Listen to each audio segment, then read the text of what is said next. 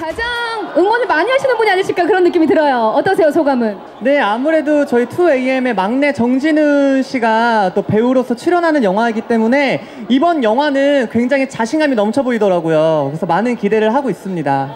어떠세요, 정민 씨는? 네, 어, 진훈이가 워낙 뭐 중학교 때부터 농구도 많이 했었고 그- 그렇게 농구를 좋아하더니 농구 영화까지 찍게 돼서 아, 너무나 좀 기특하기도 하고 진짜 정말 재밌게 볼 생각으로 응원하러 왔습니다. 화이팅입니다. 네, 두 분 화이팅 외쳐주세요.